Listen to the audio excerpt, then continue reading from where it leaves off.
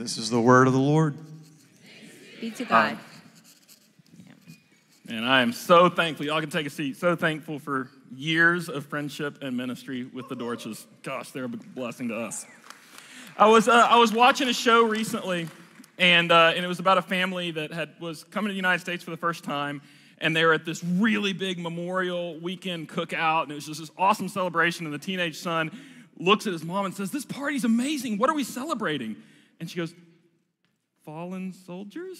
And he goes, Oh, that's actually really sad.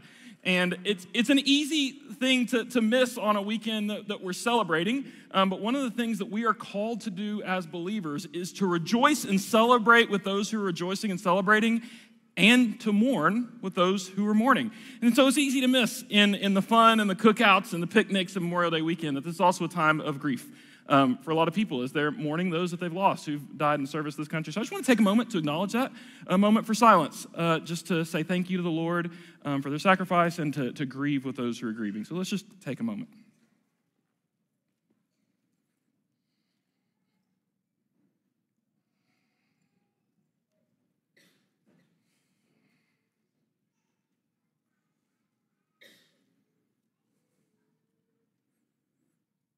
Lord, we thank you for the chance to worship you in this place, um, to gather together and, uh, and to celebrate the good news of Jesus Christ.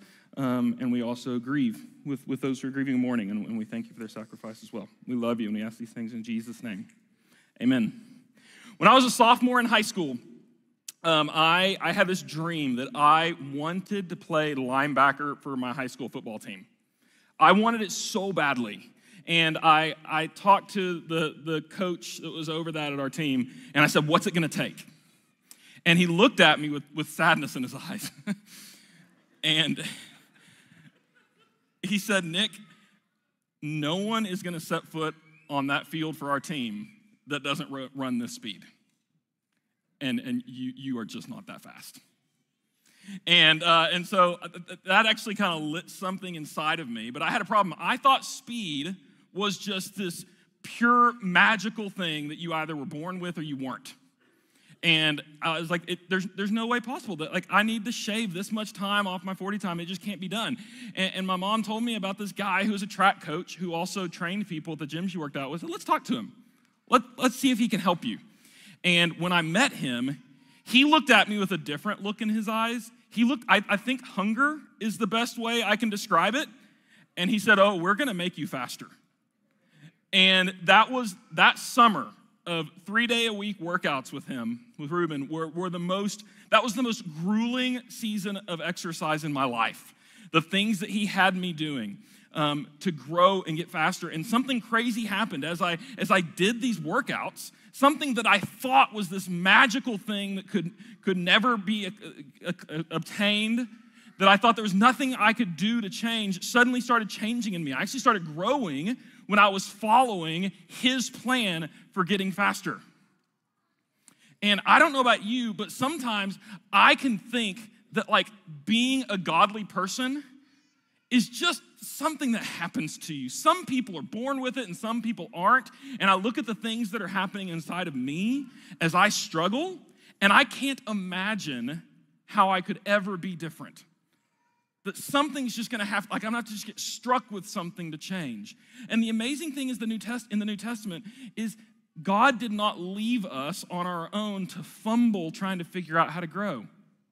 He actually showed us how we can grow and change and he gave us a path for getting there. We read galatians um, chapter 5 and it says there in, in verse 16 paul said walk by the spirit and you will not gratify the desires of the flesh. What does that mean?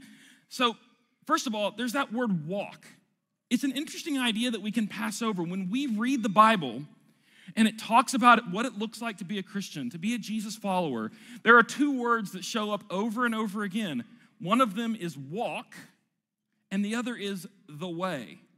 Now, think about that. When they described the earliest Jesus followers, the name, the kind of name of their religion, they didn't have a name like Fellowship Bible Church or Fellowship Mosaic. They weren't called the First Baptist Church of Jerusalem or the First United Methodist Church of Antioch. They had a name, and the name was the Way. They named their church the way, and the word they used to describe what they did was walk. What does that tell you? That the name of their church was the way, and the thing they did was walk. You see, following, being a Jesus follower is more than, it's certainly something to believe. It's certainly true good news for us to believe, but it's actually a new way to live because of those beliefs. It is a new way to walk. And the reason that walk, I think the reason that word walk is used is walking is something incredibly ordinary, right?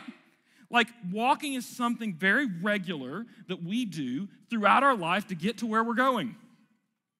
And so the description here is hey, in a very ordinary, everyday life, we're gonna change the way you walk, the way you get around and do things, and that's gonna be changed by walking with the Holy Spirit that God gave everyone who's following Jesus to change. And what happens when you start walking with the Spirit? Now, this is another phrase that's a little odd and might sound weird to us. It says you won't gratify the desires of the flesh. Now, what does it mean to gratify the desires? A desire is when you want something and you gratify it when you say, Yeah, I'm gonna go get it. I'm gonna go get the thing I want right? There are, there are fruit snacks in the back in a little pile, and I just kept walking by and grabbing another bag, and I wasn't even thinking about it. It was automatic, and I went through three bags of fruit snacks before service tonight. It's a problem. And that gratifying desires is when you just see something, you want it, and you take it. And Paul says there are some desires in us that comes from what he calls the flesh. And what Paul means by the flesh, the flesh is kind of Paul's code word to describe all the things that we want that go against God's best for us.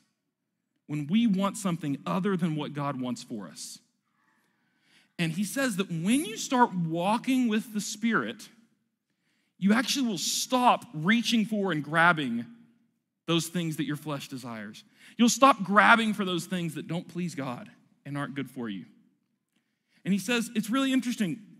When he says you won't gratify the desires of the flesh, he says the flesh desires what's contrary to the spirit, the spirit what's contrary to the flesh. They're in conflict with each other. You know what the word conflict means? Conflict's a fight.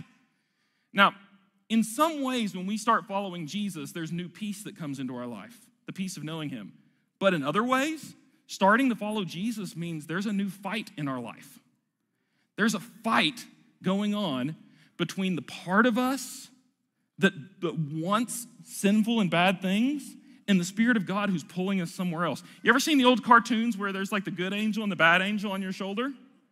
It's actually remarkably accurate. That is really what the Christian life is like, except for the good angel is actually the Holy Spirit, and the bad angel is the dark parts of me that desire something else.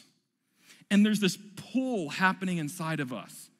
I remember when I was in elementary school, they were trying to, there was this anti drug campaign, and they would, they would they had this phrase, just say no to drugs. And, and I thought that was kind of funny because the idea was like, that's all it takes, really. Just, just say no and everything will be fine. And I don't think the campaign was super successful because apparently we aren't always able to just say no to what's going to be bad for us. Something actually has to change inside of us. And Paul's saying, hey, there's this war going on between the spirit pulling you one way and the flesh pulling you another way. Further down in verse 22, Paul says, Hey, this is what it looks like. When the Spirit starts changing you, you're gonna look a certain way. You're gonna be a person who is marked by love and peace and forbearance, which is another word for patience kindness, goodness, faithfulness, gentleness, and self control. I don't know about you, but I would love my life to be marked by that. That's what happens when the Spirit's inside of you and working in you. But the question is, how do we get there? How does that transformation actually take place? Look at the very end. In verse 23, he says, Since we live by the Spirit, let us keep in step with the Spirit. Somehow, the way that we are going to change is going to happen when we start a different kind of walking and we start walking with the Spirit. And as we do that, even if it is really slow and really tedious, God's gonna start changing some things inside of us. It's not something we can accomplish on our own. Just like that summer, if I had wanted to go out and get faster on my own, I didn't have the ability to do it. I actually needed a trainer to exercise with me, to do the exercises with me, to, to push me to grow. And he challenged me and he helped me to grow. And, and Paul's saying the Holy Spirit of God walks with us as we start growing. But I'm, I'm a really practical guy, and I'm still going, okay, that's all good and well. What does that actually look like? How do we actually know what the Spirit is doing? How do we actually know how to walk with the Spirit? I don't. The, J- Jesus said the Spirit is like the wind. Nobody knows where he's going. And I'm going, well, if we don't know where he's going, how are we supposed to keep step with him? How are we supposed to walk with, with the Holy Spirit that we can't see? That's always really bothered me. And, and recently, I, I was studying, getting ready to teach on a passage in John 14 that completely transformed my understanding of this. It's when Jesus was promising to send the Spirit to, he's talking to his disciples, and this is what he said I will ask the Father, and he will give you another advocate to help you and be with you forever the Spirit of truth. The world cannot accept him because it neither sees him nor knows him, but you know him, for he lives with you and will be in you. Now, that verse stumped me. He lives with you and will be in you. Here's why it stumped me God hadn't sent the Spirit to the disciples yet. So, how could Jesus say they already know the Spirit? What did it mean that the Spirit lived with them? And I started studying, one teacher pointed this out as I was reading about it. He said the Spirit lived with them because the Spirit was in Jesus. If they wanted to know what the Spirit looked like, all they had to do was look at the life of Jesus. So, do you know how we find out what the walk of the Spirit looks like? We look at the life of Jesus. We practice the things that Jesus practiced. He is our model, He's the one we look to, and the Spirit helps us. He comes alongside us in that walk. So, being led by the Spirit is not that there's some secret plan that, that God is like holding from us and we need to, to have it unlocked. It's not some new information about walking that we need. It's actually the Spirit of God helping us to imitate Jesus and to walk like Him. So, this summer, as a church, we're going to enter into a big experiment to go, what would it look like to commit a summer to practicing the kinds of things that Jesus did daily to try to really keep in step with some choices that by faith we will follow the way of Jesus and keep in step with the Spirit. That's what this rhythm series is all about, is establishing some new ways of walking that the Spirit empowers and that we see in the life of Jesus. So here's our walkaway for tonight. Here's the challenge I want to give all of us in this room. Summer for me, kids, I don't know if you feel this. Summer for me is usually like the least normal time of my year, and I have the least discipline and routine ever. What would it look like if this summer was different? If we made a commitment as a church to get these rhythms books and to commit not only to, to listen to sermons and, and read stories, but actually to practice the practices we're going to look at at a church together.